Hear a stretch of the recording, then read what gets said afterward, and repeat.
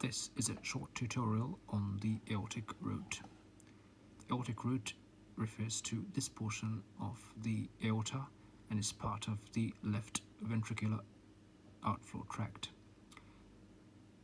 It is best appreciated on an obliquely oriented coronal view where it is comprised of three components. First is the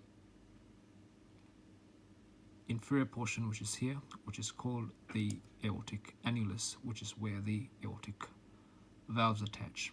And then you get this bulbous portion slightly more superiorly which is called the sinus of valsalva. And at its distal end the superior portion you get the sinotubular junction. We're going to look at 3D view and appreciate these structures a bit better. On an axial view, the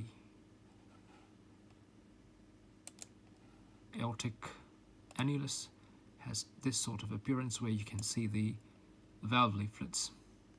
It then expands into this slightly more bulbous, more rounded area, which is the sinus of Valsalva.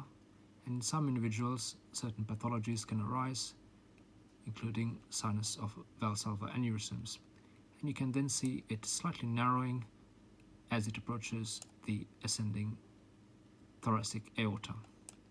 The aortic root has several functions and it's an important structure in the left ventricular outflow tract. References containing links are highlighted below.